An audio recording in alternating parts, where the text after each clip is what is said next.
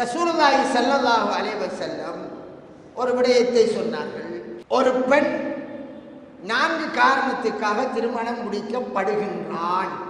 நடைமுறையில் இப்படி முடிக்கப்படுகிறார்கள். ஒன்று பணத்துக்காக முடிக்கப்படுகிறாள். அந்த பெண்ணுடைய சொத்தை அனுபவிக்கலாம் என்று சிலர் முடிக்கிறார்கள். சிலர் அவளுடைய அழகுக்காக முடிக்கிறார்கள். சிலர் நல்ல குடும்பம் என்று முடிக்கிறார்கள். இன்னும் சிலர் அவளுடைய மார்க்கத்துக்காக முடிக்கிறார்கள். இதை சொல்லிவிட்டு நபி சல்லா அலி செல்லம் நீ எதை சாய்ஸ் பண்ணணும் என்றால் மார்க்கம் உள்ளவளை முடித்துக்கொள். அதன் மூலம் வெற்றி பெற்றுக்கொள். வாழ்க்கையில் சந்தோஷமாக நிம்மதியாக வாழ்க்கையை வாழ பழகிக்கொள். என்று ஸல்லல்லாஹு அலைவு செல்லும் வெற்றியை மார்க்கத்தை ப- தெரிந்தவளை பார்த்து முடித்துக்கொள்ள சொன்னார்கள். அதற்கு பின்னர் என்ன சொன்னார்கள்?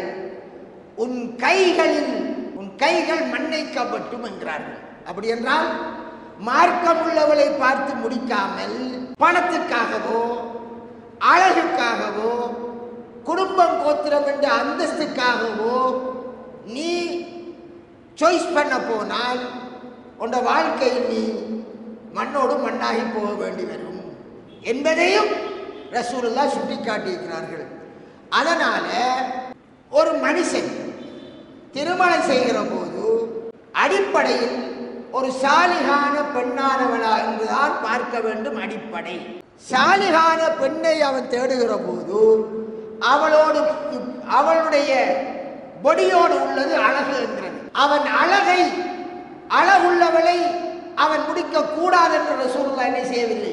சொல்லவில்லை. அது பொடியோடு மாறும். பணத்துக்காக ஒருவன் முடித்து அவனுடைய படத்தை அனுபவிப்பது என்பது அது கூடாது. ஏன்?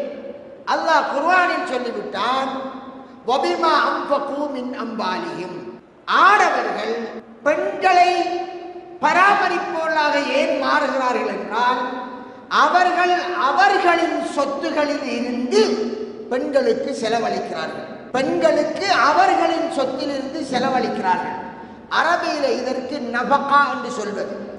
ஒரு ஆண் தான் பெண்ணுக்குரிய உணவையும் உடவையும் உடையையும் கட்டாய கடமை. இதில் எந்த கருத்து வேறுபாடும் கிடையாது.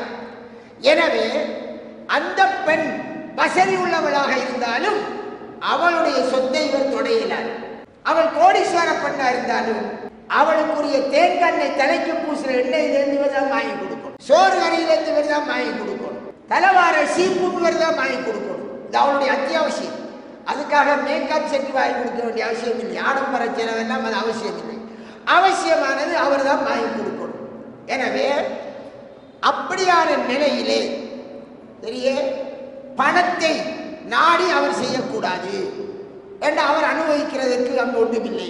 மனைவியின் சொத்தை பாதுகாப்பதான் ஒரு கடமை. ஆனால் அழகு என்பது ஒரு பெண்ணினுடைய உடம்போடு வருவதால் அந்த பெண் அழகாகவும் இருந்தால் அது அவர் என்ன செய்வது? அனுபவிக்கிறது. அவள் அழகு அவளை கரிய பூசி அழகில்லாம ஆக்குறதா அப்படி இல்லை.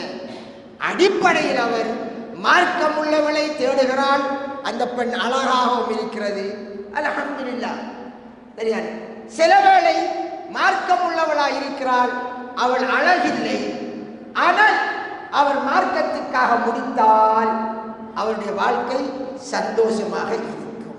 காரணம் அழகுக்கு வயசு எத்தனை மாசம்? கல்யாணம் முடிச்சா கழிச்சது ஒரு மாசம் தான்.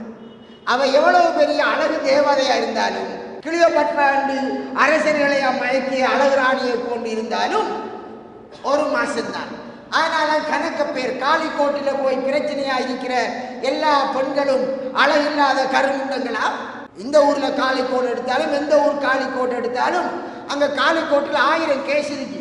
அதுல ஐம்பது வீதம் அழகான பெண்கள் தான். இவன் பார்ப்பான் "பா, இந்த அழகான பெண்ணை விட்டு போட்டு வந்திருக்கான்னு அவனுக்கு தெரியும் அழகுக்கு பின்னால என்னென்ன? ஃபித்னா குழப்பம் இருக்குன்னு தெரியாது. தெரியாதால வாலிபர்கள் வயசு கோளாறுல அழகென்றால் வாழ்க்கையே சொந்தம் நினைச்சு நினைத்து போகிறார்கள். ஆனால் அழகின் பின் கூடுதலா ஆபத்து இருக்கிறது. எனவே அழகை பார்த்து மட்டும் நீங்கள் திருமணம் செய்ய போகாதீர்கள். மார்க்கத்தை அடிப்படையாக வச்சு பெண்களை சாய்ஸ் பண்ணுங்கள் என்பதை கூறிக்கொள்ள